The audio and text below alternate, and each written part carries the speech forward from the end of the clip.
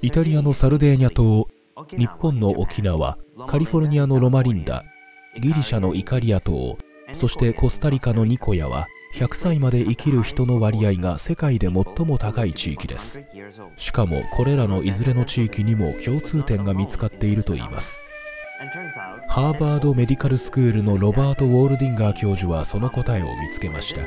彼は健康と幸福に関する史上最長の研究を行っています。研究では724人の男性に対し仕事家庭生活健康について質問し血液検査から脳検査まで彼らの医療情報を調査しました。この研究は1938年に開始されました。私たちは幸福について